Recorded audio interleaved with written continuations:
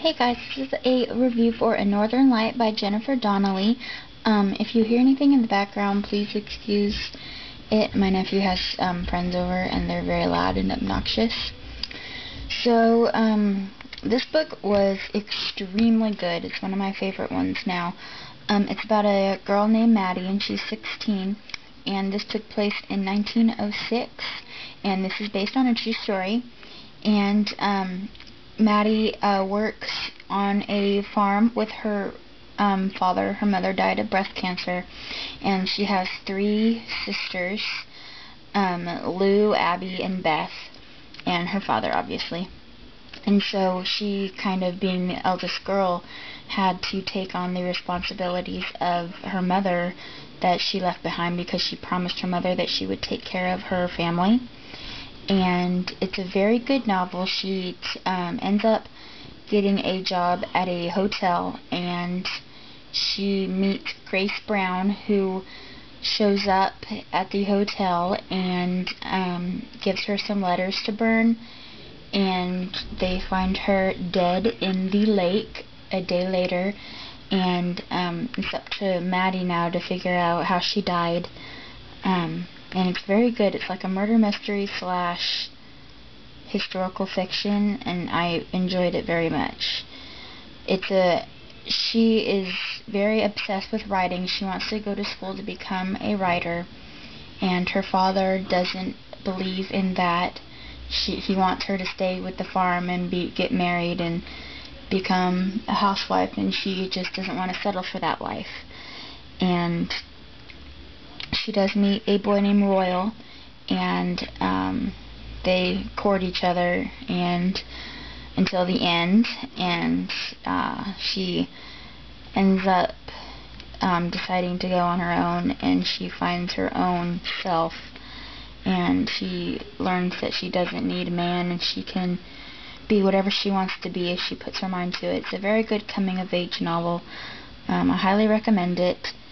Um, there was one other thing I wanted to say about this novel.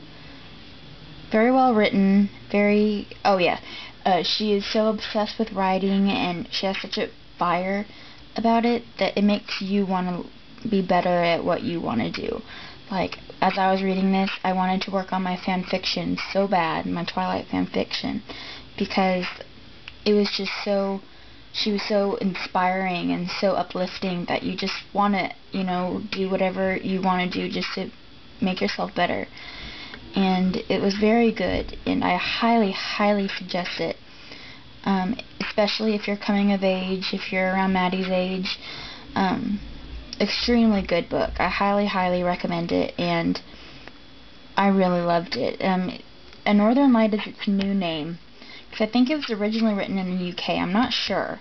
But I know that this wasn't the original title. So definitely Google it. I don't know if they have it on here.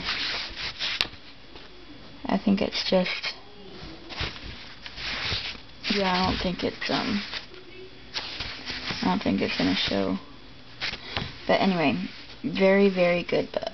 Um exciting, and I can't believe it was based on a true story. I thought, I thought that was really cool. Not cool that she died, but like interesting.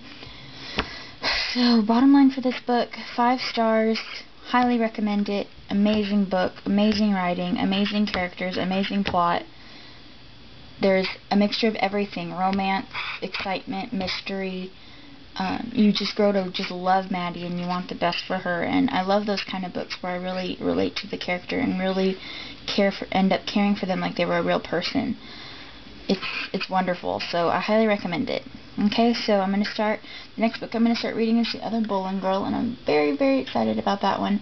So I should have that done. It's a pretty thick book, so I'll probably have it done by Wednesday or Thursday, so that should have a review up then. Okay? So I hope you guys have a great weekend, and I'll talk to you soon. Bye. Oh, and I also wanted to say thank you so, so much to all my new subscribers and my old subscribers. You guys are absolutely amazing. I can't believe I'm already up to almost 60 subscribers. That's crazy to me. So thank you, thank you, thank you so, so much. And I so appreciate and I love hearing your comments and your recommendations. And I've grown to really care for every one of you. So thank you so much. and I'll talk to you soon. Bye.